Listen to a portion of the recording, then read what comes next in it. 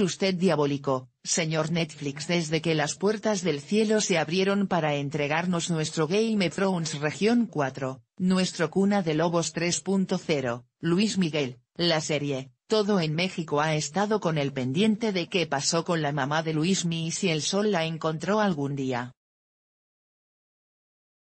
A lo largo de la serie, este elemento sorpresa se ha guardado con cuidado, teniéndonos que chutar los mil berrinches ilegibles de Luisito Rey, la pésima actuación de Camila Sodio el protagonismo de las pompis de Diego Boneta, uff. Y este domingo, ante los resultados de la Mossad y el viaje de Marcela a las matas, por fin nos íbamos a enterar del secreto mejor guardado de México.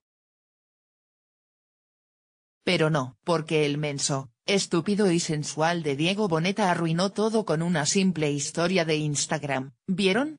¿Toparon? ¿Se percataron? Luismi nunca se va a encontrar con su mamá. Una metida de pata de Boneta o una maléfica estrategia de Netflix.